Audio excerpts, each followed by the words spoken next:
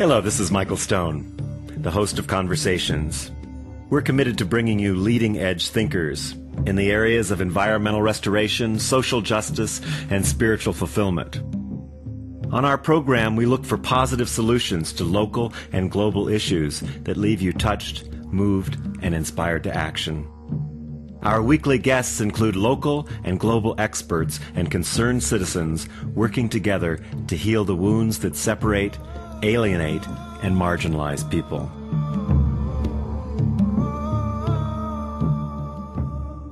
My guest today is Peter Sale. He's Assistant Director of Institute for Water, Environment, and Health at United Nations University and is University Professor Emeritus at University of Windsor, Ontario, Canada. He's the author of The Ecology of Fishes on Coral Reefs, Coral Reef Fishes, and Marine Metapopulations. Today we'll be talking about his latest book, Our Dying Planet, an ecologist view of the crisis we face. Peter, welcome to Conversations Very happy to be here. Great to have you here. Let's start out with in the beginning of the book, you start about what motivated you when you talked to your neighbor to write this latest book, which is a, a little, little bit, bit of a departure, but certainly related. Okay. Uh, yes, it was 2005. Seems like a long time ago now. My neighbor and I were mowing our lawns. It was an early spring. We paused to say hello to each other. And I said to him, We're going to have to expect springs like this in the future. And he said, Oh, no, you've got it all wrong.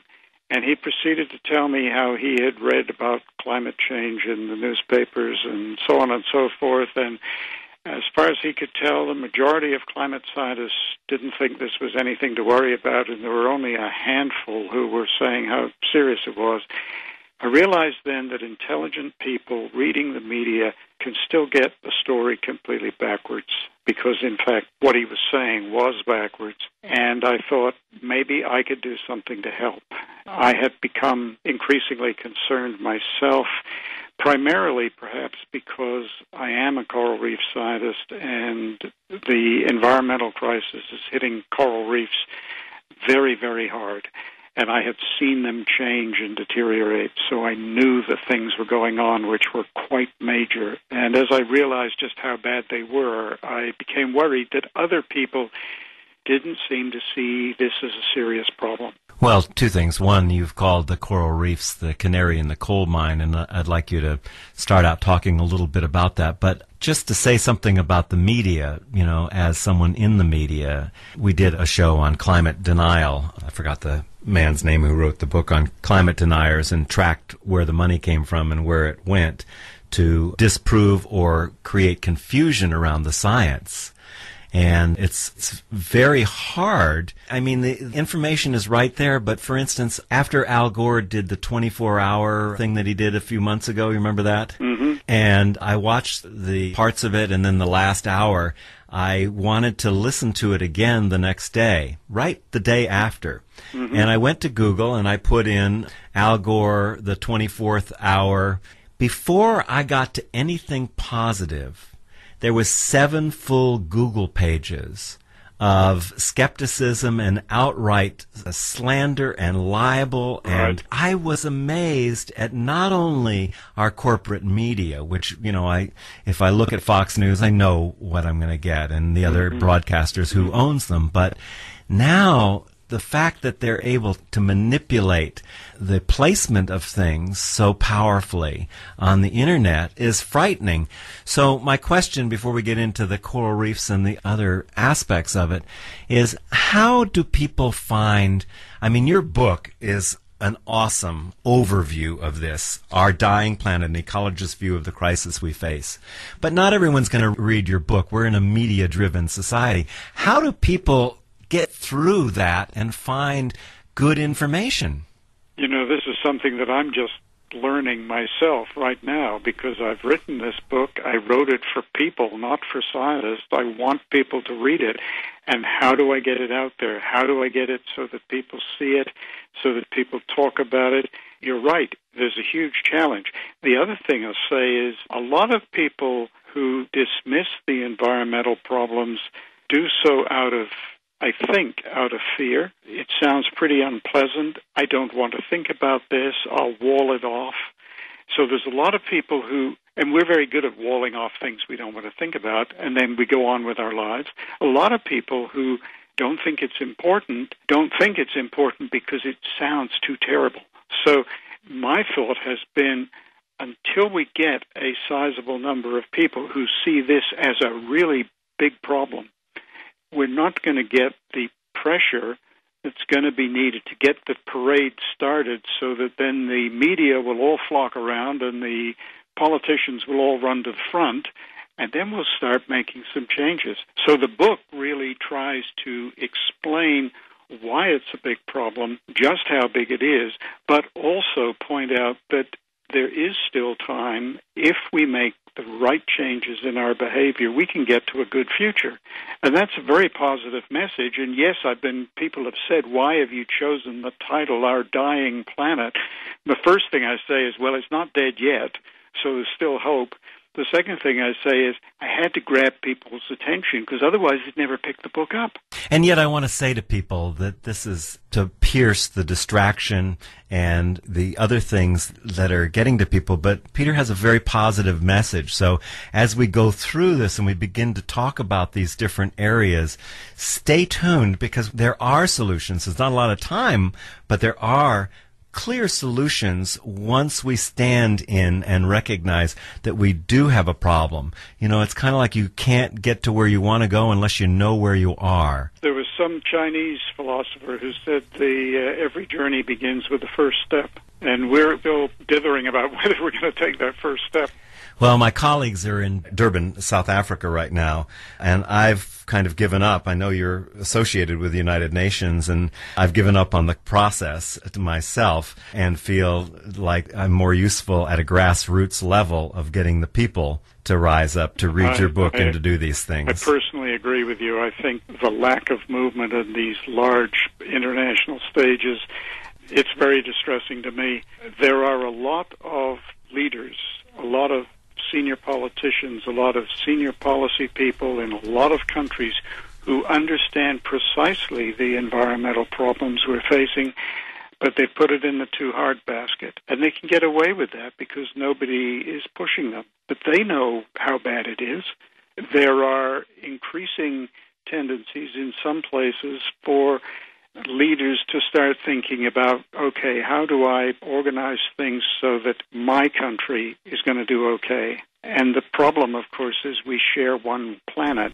Well, let's get into some of the issues here without overpowering it, but starting with the canary in the coal mine, the coral reefs, and into the, the fisheries and the forests and atmosphere, and just kind of give us a state of the ecology of these things. And I'm also particularly interested, Peter, because one of the things I love about your book is you're one of the few people that takes a systems approach to it. So talking about how those different ecosystems interact, I think, is really important. Right. Okay. One of the things I wanted to do with the book was to make the point that we have one big problem, not a bunch of separate problems. Um, there have been lots of books written on climate change. There have been books written on, you know, fisheries collapse. There's a wonderful little book written exclusively on the collapse of the cod fishery in, in the northeast of North America. We deal with these separate issues as if they're truly independent of each other, but they're all related to each other. They're all being caused by what we're doing. And one of the tendencies when you start splitting them apart is people start arguing about which is the most important to deal with. And that is very unproductive because they're all important to deal with. And what we should be talking about is why aren't we dealing with them? Exactly. The problems we have at the present time with the environmental crisis are far worse than the financial problems that we're all struggling through in, well, since 2009. But very much interrelated. I mean, the oh, economy oh, yes. is at the heart of driving the devastation of the environment. The constant need to have growth and consumption is right. very much interrelated. But from a systems approach, you need to include that too, really. The issues are not going to be solved without some serious reorganization of uh, economic models. Uh, we have got to get away from the idea that everything can grow indefinitely. We live on one relatively small planet all alone, and it's at least in the near part of the universe, it's all alone. It's the only one like it. We have nowhere else to go. We are powerful enough that we are causing very significant damage to the engines which deliver the goods and the services which we ultimately depend upon. And so, you know, this is one of the things I try and capture in the book. I do have chapters specifically on fisheries. I've got a chapter specifically on forestry, and I talk about the issues related to those things, but they all come back to the central issue, which is basically too many of us using too much and using it either too quickly or in the wrong way. Yeah. And we have got to recognize we cannot do that because we are changing the planet in ways which make it very difficult for us to continue our lives and our civilization. And so, it, I mean, it's very foolhardy what we are doing. Incidentally, I saw a news release yesterday. FAO, Food and Agriculture Organization of the UN, has just released a new book, a report on agriculture in the next few years. They say in the in the news release, I've not had a chance to look at the document itself. It's a big, thick book, uh, and it's not online yet. But they say in the news release that there is going to be a need to increase agricultural production by 70% by 2050. That's 39 years away. Yeah. Uh, in order to feed the 9.2 billion people we expect on the planet. They don't say anywhere that this is going to be really, really difficult. I think it's going to be impossible. They simply say you've got to increase it by 70%. And these are really serious problems we're creating for ourselves. And if we don't change our behavior, we're going to be in, in very serious strife the whole food system, you know, agriculture system that we have right now also is close to being in collapse too. There's only so many antibiotics you can shove into things and so many petroleum fertilizers and all these things which we've talked about of course on this show. Well, I mean but, the the FAO document that I just mentioned, they do itemize the problems. They point out that 25% of the land is seriously degraded by our behavior and they say that's a problem. But what they don't say is these problems are going to be really, really difficult to deal with if we continue to assume we can go forward business as usual, not worrying too much about it, which is the way we've been going for the for the past couple of decades. So let's get into the specifics about it. Let's start with the canary and talk about the basic things and how they're interrelated, basic areas of, of foresting and fisheries and land. Sure. The, the canary metaphor, of course, is a very useful one. The canary you take down into the mine, and when the canary falls off its perch because of carbon monoxide poisoning, you know it's time to get out of the mine. Just so happens that canaries are more sensitive to carbon monoxide than miners are. So the canary in the environmental mine, coral reefs are showing real impacts of the things we're doing I say in the book they are going to, coral reefs as we knew them in the 1970s will not exist in 2050. That's pretty profound. So they're a canary in the mine. One of the things I've realized since writing the book is they're a canary with a very soft voice. And it's a great pity, in a way, that we're destroying coral reefs instead of something like eastern deciduous forests of North America, something that people are really familiar with, something that people live with every day. Coral reefs are something most people have never seen them. People who have seen them have seen them once or twice. But I don't think, you know, Peter, that people know explain to people why they're so important. You know, okay. I think most people right. think, oh, they're nice to scuba dive and see the pretty fish, but they don't get the, the reality of what you're talking about. No, and that's true. Now, I'll give you some statistics. 25%, that's a quarter of all species that live in the ocean, live on coral reefs. Now, many of that 25% will be able to live without the reef, but many of them won't. So the loss of coral reefs represents a huge loss in the diversity of plants and animals that live in the ocean. Coral reefs are economically exceedingly valuable to the countries that have them. They provide fisheries and they provide tourism. The Great Barrier Reef in Australia is valued at something like six billion Australian dollars a year in revenue. And that's year after year after year. Six billion rolls in each year simply because they have the Great Barrier Reef. A lot of that is in tourism, some of it's in fishing. Those things are going to be really impacted. Now, I've talked to people who've gone to the Caribbean on vacation and they've stayed in Cancun or somewhere similar, and they said, well, you know, there's lots of tourism there. It has nothing to do with reefs. I know I know there was a reef out there and some people went scuba diving, but I didn't. And I say, no, but you probably walked on the beach one morning. And they said, yes. And I said, that beach is produced by the organisms that live out on that reef. And without those organisms continuously producing sand, that beach is going to disappear. The tourism is in these tropical countries depends on beaches. Those beaches depend on the reefs and the calcifying organisms that produce that sand. And one of the reasons the reefs are disappearing is because of ocean acidification, which is making it very difficult for calcifying organisms to produce calcium carbonate. Corals on the Great Barrier Reef are now growing 14% slower than they were in the 1980s. So, and that reduction is because it is more difficult for them energetically to build the calcium carbonate limestone skeleton. So they grow more slowly. So, you know, the loss of coral reefs represents a significant economic impact as well as a significant biological loss. Very big deal it's a very big deal, and, and I love in your book you go into great detail. And unfortunately, we don't have time to do that, but yeah. it definitely relates if that much of the coral reef is the habitat for a quarter of the fish. And I think the statistic I remember, I didn't see it in your book, but something close to it, was that 90% of all the large fish are gone from the ocean and that also that we're breaking up the fish that the other fish feed on. Can you talk about overfishing and the impact and how that's you know you go from the reef and then the fishing how is that related and fit into the equation well the overfishing thing is really i think quite alarming if you look at the statistics and there are good global statistics for the fishery catch per year in every country, talking commercial fisheries here, of course. If you look at the global catch of fish, it has been going down since the mid 1980s.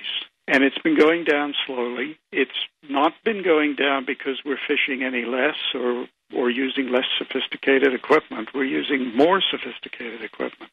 It's been going down because the fish aren't there. There have been studies by fisheries biologists showing that the not just the number of large fish, as you said a minute ago, the total biomass of fish, in other words, the total weight of living fish flesh swimming around in the ocean right now, is one tenth of what it was before the Second World War. Wow. So we have sifted out so rapidly that the fish have not been able to replenish their numbers, and we have reduced it by 90%. And when you start talking about large fish, there are many, many large fish that are going to go extinct in the next few years simply by overfishing. And the important thing about overfishing is not so much the fish, but the fact that fish provide 16% of the animal protein that people eat. So if you have a decline in that amount of animal protein coming from fishing, what do you replace it with? And, you know, and I discuss in the book some of the things people think you replace it with, like, oh, we'll do aquaculture. Right. You know, well, aquaculture produces fish we like to eat by using lots of fish that we don't like to eat. So it doesn't solve the problem. It just means we fish more out of the ocean, and that's contributing to the decline of fishing. And so then you say, oh, well, then we'll have to feed people from land sources. And then you come up with the statistic I mentioned earlier 25% of the agricultural land in the world is seriously degraded by our agricultural practices. In this country alone, we lose an eighth of an inch of topsoil, which may not sound like much, but when you're talking about less than two feet, that's pretty serious. That's significant. And up here in Canada, there's less than you've got because a lot of ours got pushed south during the Pleistocene. so, not only that, so let's take it a little bit further and noticing that, okay, the fish are also dying because of the amount of CO2 and the water warming up, and of course the plastic and pollutants yep. that are in the water and the runoff from agriculture. So let's add now the state of the ocean to this mixed equation here. One of the things, you, you know, we talked at the beginning about the international large meetings such as the COP meeting currently getting started in Durban. One of the good things that has happened with those meetings in the recent past is that the ocean is finally being noticed. Yes. Up until recently, these meetings have been driven entirely by concerns about degradation of the land. And degradation of the ocean is a serious problem. And there are reports coming out documenting the extent of the pollution, the extent of the overfishing, the extent of the acidification. You know, the acidification is a really interesting one.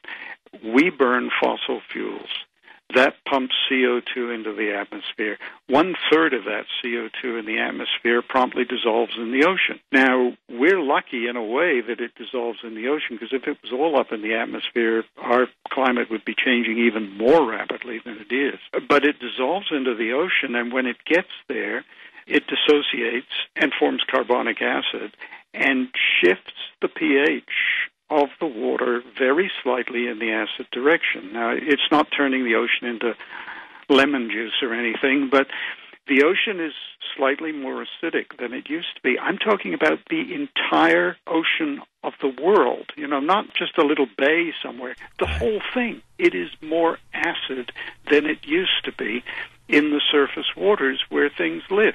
And you've done research early on in your work where you went into places where it was not just a little bit, but there was no life left. Yes. Yeah. Well, I haven't done that research myself, but I when I was up in northern Ontario, that was acid rain, and that's a slightly different situation, but it's a similar similar, yeah, problem. Right. You change the chemistry of the environment, and in changing the chemistry, you make it impossible for some organisms to survive. And this is what we're doing in the ocean. The acidification problem is one that what I focus on in the book is the impact on calcification because so many marine organisms use calcium carbonate as their skeleton. Where you know it's the corals, but it's also the mollusks, the crustaceans, the starfishes, the, all sorts of other little things. A lot of the worms, a lot of the plankton has tiny little skeletal structures made out of calcium carbonate.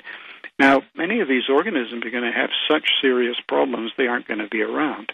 And so that's a hugely difficult problem, but that's just one of the things that shifting the pH is doing. And people are, I mean, scientists are now starting to get really concerned about how we're changing the chemistry of the ocean. We know that in the past, the ocean has changed into some in some very bad ways for for reasons that had nothing to do with us because we weren't here. I'm I'm thinking of the end of the Permian, which is, you know, some uh, 350 million years ago. It's a long time ago now. But at the end of the Permian, the oceans were changed very dramatically by a lot of volcanic activity, a lot of release of chemicals that seriously altered the acidity of the ocean, and some other things the ocean was basically dead for 20 million years.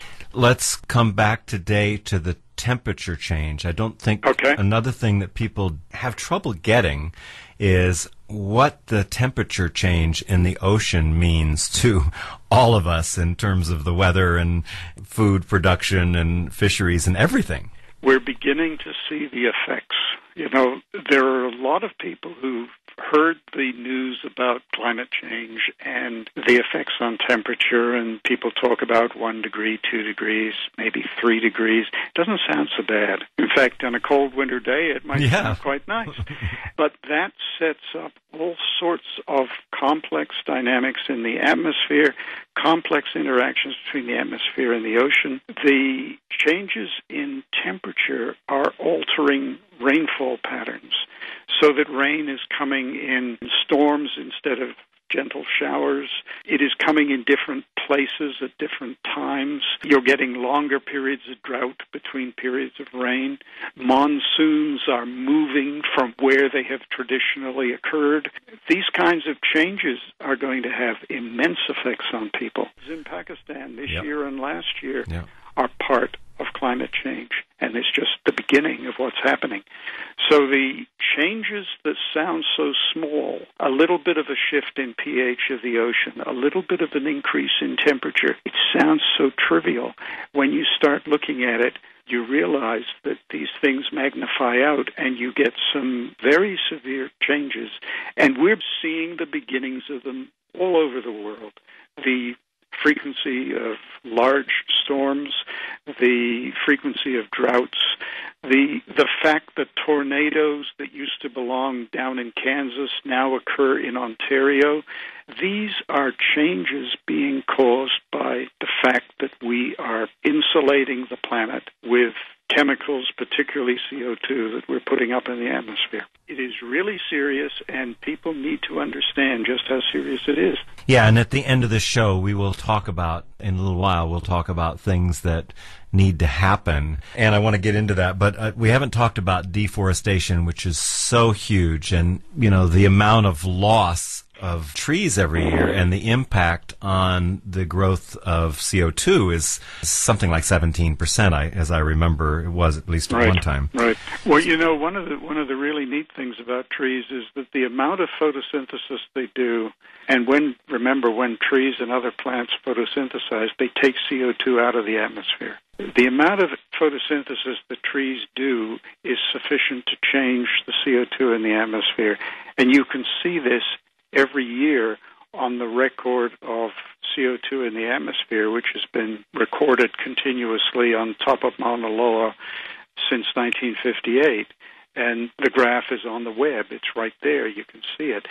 And it goes up every winter and down every summer, just a little bit, because the trees do more photosynthesis in the northern summer than they do in the northern winter. And the trees in the southern hemisphere tend to do their photosynthesizing all year round. They don't drop their leaves, as many of them. And so you have this inequality of how much photosynthesis goes on on the earth in the northern summer compared to the northern winter. And that's sufficient to fluctuate CO2 in the atmosphere. We're, of course, changing it far more dramatically, but don't let anyone ever tell you that organisms can't alter the atmosphere. They can, and trees have been doing it for, for a very long time. Yeah. But no, the, the loss of trees, about 7 million hectares of forest are lost every year. That's net loss, not the amount we clear, but the amount we clear minus what is regrown. 7 million hectares is a big number and it doesn't mean anything to people. That's about 17 million acres for. Yeah, and that's about the size of West Virginia. And that's a big place. And we lose that amount of forest every year. Now, the forest does lots of things for us. It takes CO2 out of the atmosphere, and sequesters it in wood. It produces wood, which is exceedingly valuable for us in our buildings and our furniture and everything else, and firewood. The trees also play an amazing role in ameliorating the climate, making the climate less extreme, making the water that comes down as rain soak into the ground instead of run over it and cause erosion and siltation of water bodies and so on and so forth.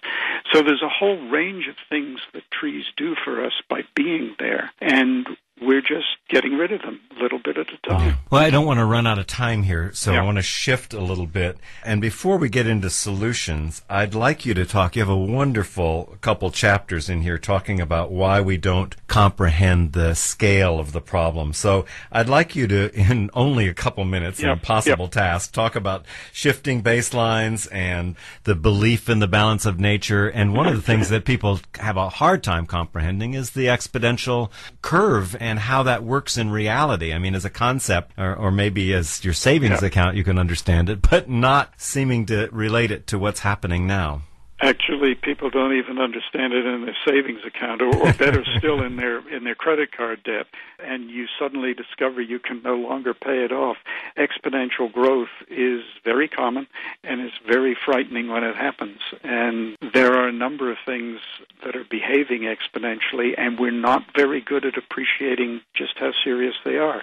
One of these, of course, is simply the growth of the human population. I mean, I was appalled at the treatment of the, you know, the date when the world population reached 7 billion people. A lot of the presentations of that in the media and, and this was spurred by the UN Population Department that began by identifying selected babies around the world to be the seven billionth person.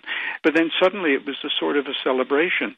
I celebrate the birth of all of those babies as individuals belonging to families, but I don't celebrate the fact that there are seven billion people on the planet. It's not just 7 billion, yeah, and we're projecting 9.2 or 4 by 2050. 9.2 by 2050. Uh, the thing that for me is really hard to hold is of those 7 billion, two thirds of them live on less than $2 a day, and at least a third of them or more are suffering greatly. That is very true. And you know something else?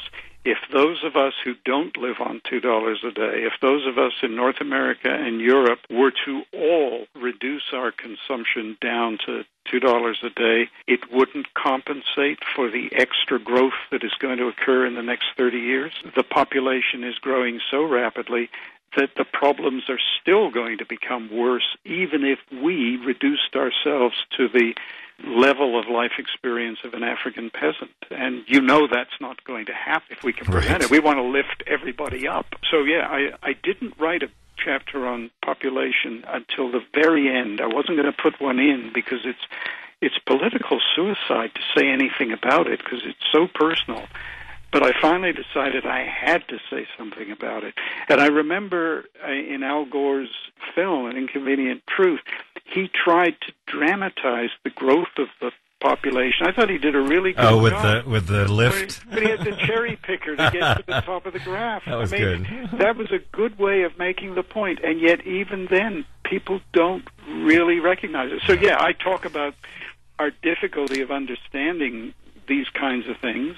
And slow changes are another thing we have a great deal of difficulty with. We're, we're real good at jumping out of the way of the predator, but we're not very good at jumping out of the way of the incoming tide. But the other thing that I do talk about in the book, which is another one of my pet concerns. A lot of people have a lot of faith in the ability of the natural world to take care of itself and repair itself, and and if we just stop what we're doing, everything will be okay. And the fact is, it won't. The the natural world is not built like that. The natural world, you know, the the idea of the balance of nature is greatly overstated, and I try and explain how that is that, that is much more fragile and and we should be a lot more frightened because we're we're kind of blundering around like the bull in the china shop. And we're going to break things that we need. I've been saying to people that this is the biggest environmental crisis we've faced since the pleistocene. And we are heading rapidly towards what scientists call 6x or the sixth mass extinction. And that's mm-hmm. a whole show in itself to talk about that. But i, I want to get into some things that I think are really important in this book because, you know, some people are probably getting a little depressed at hearing all this. and that's okay because when you talk about the four choices for the future, one of them is coming face to face with the problem that it's real and that it's shared by all of us, no matter what your income, color, race, religion. It's shared by every single one of the seven billion people on this planet. So I'd like you to talk about the choices for the future and what gives gives you hope? Because I think there are a lot of things to be hopeful about too, Peter. Let me talk about the, the choices very quickly. I'll simply say I created a sort of a, a metaphor or a parable and suggested that there were four paths ahead of us. And there's one we're going to, I think, on an eight lane superhighway which is a frightening world in which the rich wall themselves off and protect themselves, and the poor become poorer and poorer. And I see lots of signs of us heading in this direction. It's not a good direction to go in, and it ultimately doesn't win in the long run. There's a couple of others in between that I'll skip over, but the one I like is the one that I call New Atlantis. Don't ask me why, but it sounded good. It's a world in which we have the toys that we love. We have all our electronic gadgets. We have a sophisticated life. We have a rich civilization. We have the arts and theater and the sciences and, and the sports and all the other good things that make our lives as rich as they are, but we do it in a world which is managed sustainably. We don't use fossil fuels, we use other sources of energy. We are far more conscious of the cost of energy so that we use energy sparingly. We are much more economical and we don't waste it. We waste so much energy at the present time. It's just incredible. So, a more efficient way of using energy, better sources of energy, a society that works and supports the natural world, which in turn supports the society. And this is doable. Yes. But it is going to take some significant changes in what we do.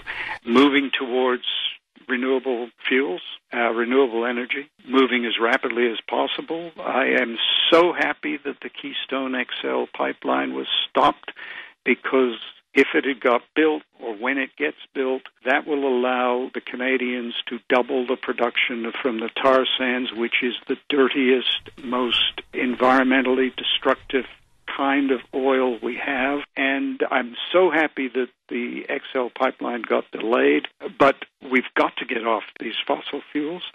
We've got to deal with our population growth. We have got to recognize that just as it is right to encourage sophisticated medicine to make lives long and healthy. It's also right to encourage people to not produce more children than they need to replace themselves. Problem is, we're still producing children as if we were living in the dark ages. And as a consequence, we have far too many people on the planet. So we've got to talk about a declining population, not a growing population. And we've got to talk about an economics that deals with that. Let's bring it down for a second because we're running out of time. Yep. To what the listener can do. What can the person listening to the show, you know, it's kind of overwhelming Sure. for people to confront this. And it's like, yeah, but I only have one child and, you know, I'm, If everybody had only one child, we'd be in a very different world. but what can the individual do? That's, what can the individual do? The individual can be active. The individual can talk about the problem to friends and neighbors, maybe to people who don't already believe it's a problem. The individual can be politically active and put pressure on the politicians to move in the right direction. I was in Australia during the 70s. I talk about this in the book when the attitude to the natural world was summed up in the phrase if it moves, shoot it. If it doesn't move, chop it down. And that was the view, that was what nature was there for. There was a threat of oil drilling on the Great Barrier Reef. And a tiny little NGO began a campaign with a very simple slogan saying, Save the Barrier Reef. And if they hadn't done that, we probably would not have what is und- undeniably the best and one of the very largest marine protected areas around a coral reef in the entire world. And the Great Barrier Reef has been well protected and well managed because of a bumper sticker that said Save the Barrier Reef. People changed their attitudes, and when people change their attitudes, things happen quickly. Madison Avenue can teach you to want all sorts of things you never dreamed you needed. Madison Avenue techniques can teach you to want a world which is sustainable.